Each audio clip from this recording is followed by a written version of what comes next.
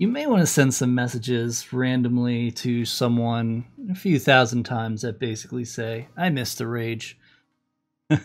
I don't condone this, but I'm going to go ahead and show you how to do it with the new fad on TikTok. I have a video that has kind of blown up for this, but this is the exact app that's used. We're going to go over it, show you how to download the app, set it up, and use it. As always, be careful when you're messaging people if you decide to use that. They can block you and no longer speak with you again. So I do encourage to just mess around with this maybe in Notepad or something like that.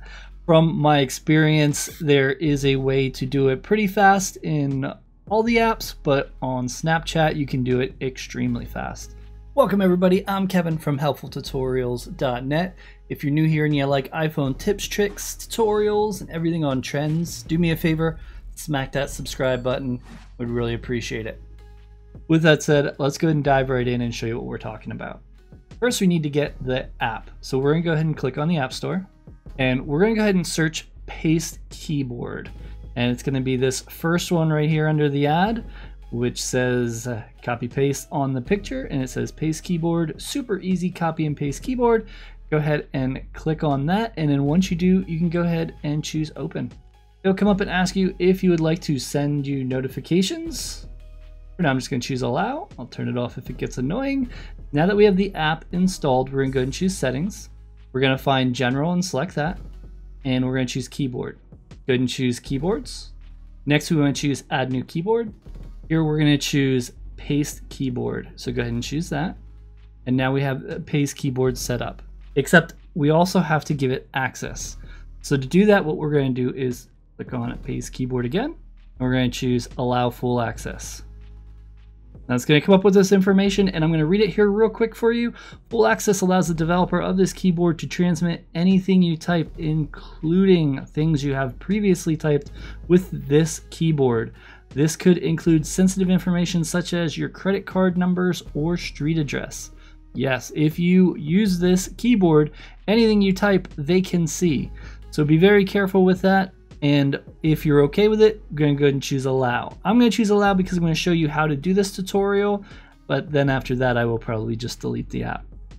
So now that we have allow, we are set up and the keyboard is functioning. Let me show you how to use it. Now that we have the keyboard installed, what we need to do is go back to the Paste app. And here is your now list, which is empty. You're to click the plus sign, and you're to put whichever phrase you want in there. I miss the rage. And you can also add emojis. And once you're done, you'll go ahead and choose save. This is a big step. If you don't do this, you're not going to see anything in your keyboard. So now if we go into notes, what we could do is go ahead and choose the globe in the bottom left-hand corner. That is basically how to change keyboards. You'll see it here and you tap on it and it will enter what you typed. And you can tap on it a bunch of times and see how it goes. Now, if you're trying to send something, you would have to hit enter between each time. So that's the arrow. So then you would hit I missed the rage, enter. I missed the rage, enter. And then you go as fast as basically you want, and it's sending a lot of messages. I have big fingers, so sometimes this doesn't work so perfect, but you get an idea. So you can make little scroll designs and stuff like that. I don't know. but try to be careful. Don't get in trouble with this but it is fun to do and it's pretty neat.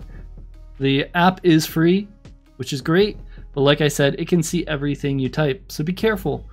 You can add more stuff to the list and you can alternate between things, and always make sure to click that globe to switch back to your regular keyboard.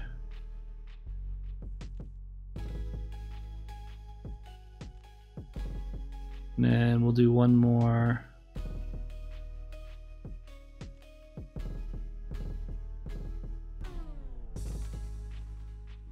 There we go. And now you have a bunch of different things. You could choose hi, hello, that, I missed a rage. And you could have a whole list here. That way it looks like you're typing a whole bunch of different things.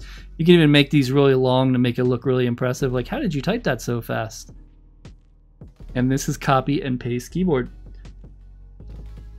When you're done and you want to switch back to the other keyboard, again, click the globe, it'll flip back. When you want to remove it, into settings, general, keyboard, keyboards, paste keyboard, turn full access off, like so. And now what you want to do is delete the keyboard. So find the keyboard like here, hold down, and then remove app. And delete app. And delete the data also. Now you were able to mess around with it and you deleted everything so it's not going to keep track of your stuff. Not all developers do that, but they have the option to, so I'm always very cautious with that. If you have any questions, please leave them down below. Hope this helped, and I will see you in the next one. Thank you for the view.